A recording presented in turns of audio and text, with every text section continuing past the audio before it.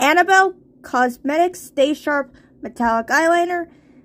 I have the shade Ocean. Let me see if I can find the net weight. The net weight is 0 0.008 ounces or 0.25 grams.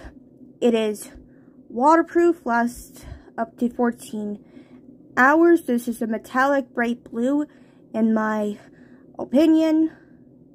Ophthalmologists tested. The headquarters are in Montreal. To sharpen it, you just twist. There is no need to sharpen it. I love to use this in the waterline for that pop of color since I have blue eyes or any makeup tutorial that I want a pop of color. It is really good. Follow for more!